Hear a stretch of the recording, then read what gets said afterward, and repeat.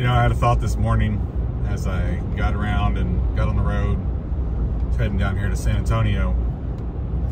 And as I came down the stairs at the house, the sun was just coming up. And the clouds were, as you can kind of see here, just across the sky and that that beautiful orange and red and blue were just blending together as the sun came up. And it was what I would say is breathtaking. It was beautiful. Just those colors and that softness and just that cool, crisp air with a little bit of warmth in it. It was to me like almost the perfect morning. Just that that morning that everything just looks and feels right.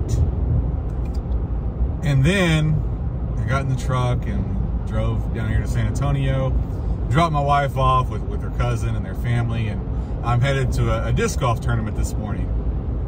And I get in the truck and I turn on my music, and the first song I hear is I Can Only Imagine.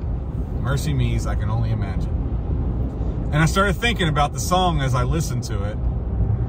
And I started thinking about some of the words in it, some of the things he says in it.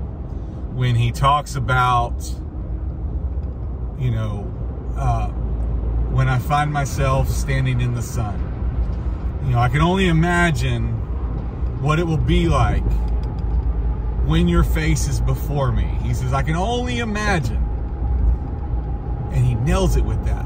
And I thought about that, and I thought about it with this morning that how beautiful things were, and I thought, you know, we can only imagine because our minds cannot comprehend the things of heaven.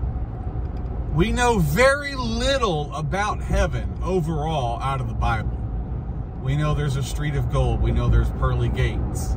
We know that He is there and has prepared for us a place and if he goes to prepare that place, then he will doubtless come again. And there's a few other things that we know about heaven, but we can only imagine what it will be like. And I look at that sunrise this morning and I think about how beautiful a sunrise is. And I think about the times in my life when I have seen something and I have thought, wow, that's breathtaking. Wow, look how pretty that is. We've all seen photographs and been to places and we, we see these things and we're just blown away by the beauty right here on earth. The beauty in our own backyards. And we're just blown away by it. And then I think about that song and I think about heaven. And I think if we think that's beautiful now, I can only imagine how truly, truly breathtaking heaven is going to be. What it's going to be like when there's no more darkness, when there's no more tears, when there's no more sadness, when every day we spend rejoicing and praising God. When every day we get to see our Savior and praise Him and worship Him and thank Him for what He's done for us. When every day we get to see firsthand, in person, the creation that he has that day, that eternal sunrise, that eternal beauty. And we get to be there and see that for ourselves.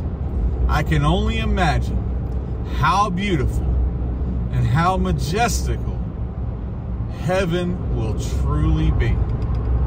And I can't wait.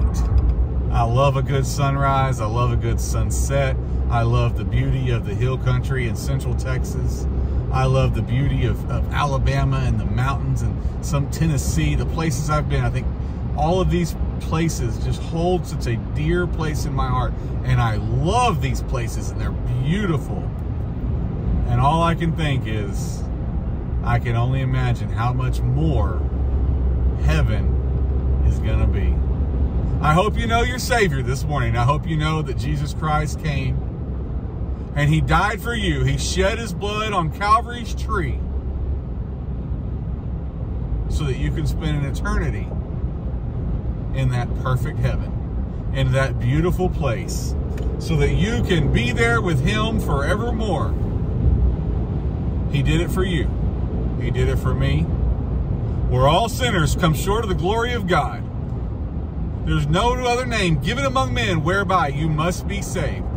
It is through Christ Jesus and Christ Jesus alone, through his blood, through his sacrifice, through the redeeming of our soul, through our repentance of sins and our faith in him, that we get to see